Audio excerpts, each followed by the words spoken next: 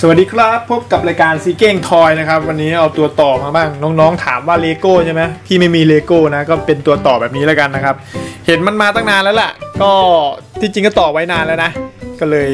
ตอนแรกซื้อมาเนี่ยราคากล่องหนึ่งประมาณ300กว่าบาทนะครับเป็น 600 ชิ้นนะมันเป็นชุดเอ่อก่อสร้างนะแล้วก็ผมเป็นคนชอบรถก็เลยอยากรู้ว่ารถมันใหญ่ขนาดไหนเนื่องจากกล่องมันใหญ่มากเทียบกับมือผม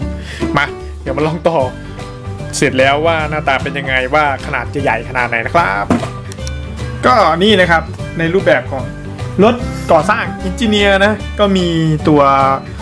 คนมาให้ประมาณ 5-6 คนนะครับ ก็ยาวเกิน 1 ไม้บรรทัดนี่นะไม้บรรทัดหนึ่งก็ฟุตหนึ่งใช่ไหมประมาณ 32 เซนนะครับ ความสูงอยู่ที่ประมาณ 15 เซนนะ นี่เลยรูปลักษณ์เดี๋ยวหมุนให้ดูลักษณะนะครับ วันนี้ก็เป็นรีวิวเบาๆนะน้องๆถามหาว่ามีเลโก้หรือเปล่านะครับรถประมาณนี้นะ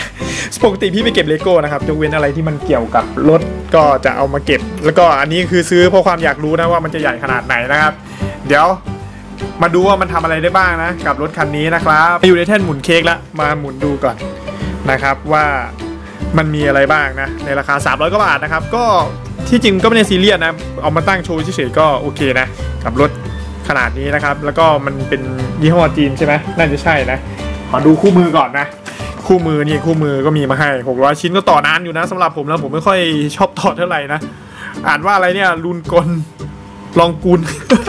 ลองก้น ประมาณนี้นะฮะคู่มือก็ก็ไม่ได้แตกต่างอะไร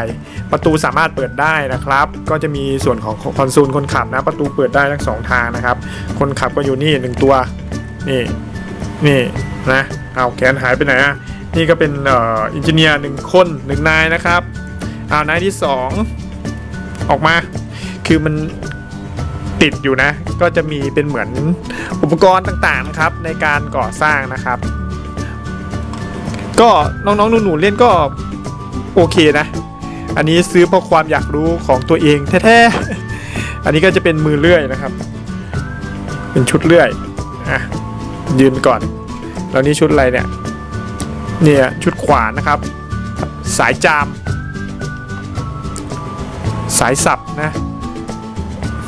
ก็มันจะยืนยากนะ ไม่รู้ว่าของแท้เป็นยังไงนะ ไม่เคยเล่นของแท้นะ นี่ซื้อเพราะว่าจะเอารถอย่างเดียวนะครับ เห็นล้อมันสวย อ่า แล้วอีกตัวนะครับ ก็เป็นสายค้อนนะครับ อะ สายค้อน พี่ทอ นอกจากนี้ก็ยังมีอุปกรณ์ต่างๆนะครับ ก็จะเป็นพวกหินนะครับหินนะไว้ทำงานเหมือนก่อสร้างนั่นเองนะครับ หินรูปทรงต่างๆ มีถังน้ำมันนะครับ ถังน้ำนั่นแหละนะอ่านี่มีก้อนหินอีกอะนี่นะครับ ก็ให้มาเยอะเลยทีเดียว แล้วก็เป็นชุดแผงกั้นนะครับ ไว้กั้นรถอะไรแบบนี้เอาไว้วางเวลาอยู่ชุดทำงานของเขาอะนะ อ่าวางไว้ตรงนี้ แล้วก็มีป้ายนะครับ บอกว่ากำลังเนี่ยพื้นที่กำลังก่อสร้างอยู่ ก็เป็นรายละเอียดง่ายๆนะครับ นี่นะสำหรับน้องๆที่อยากรู้ว่าพี่เล่นเลโก้หรือเปล่านะครับ ก็ไม่ได้เล่นนะ อันนี้ซื้อเพราะว่าเอารถนะครับ อันนี้ก็จะเป็นลักษณะของบานพับไว้อ่อขนของขนคนขึ้นอะไรแบบนี้นะ แล้วก็มีราวกั้นนะครับ ตรงนี้ราวกั้นนี่ก็เอามาประดับออกมาเล่นข้างนอกได้ ก็ไม่มีอะไรมากนะคันนี้ ราคาย่อมยาว 300กว่าบาทลองหาซื้อกันดูนะครับอันนี้พี่บอกไม่ได้ว่าซื้อที่ไหนเพราะว่าพี่ซื้อตามตลาดนัดนั่นเองนะเห็นแล้วก็อยากได้นะครับรายละเอียดงานก็มันก็ไม่ได้คิเลนะก็คือสำหรับคนที่จะเอามาจัดทำเป็นเรื่องราวเกี่ยวกับเมือง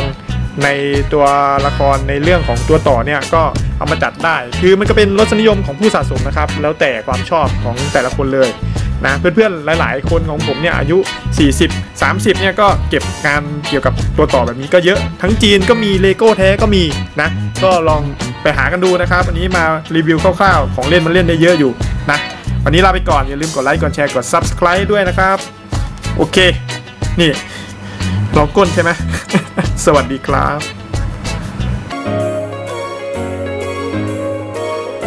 ฝากกดติดตาม ตรงนี้ ช่องซีเก้งทอยด้วยนะครับ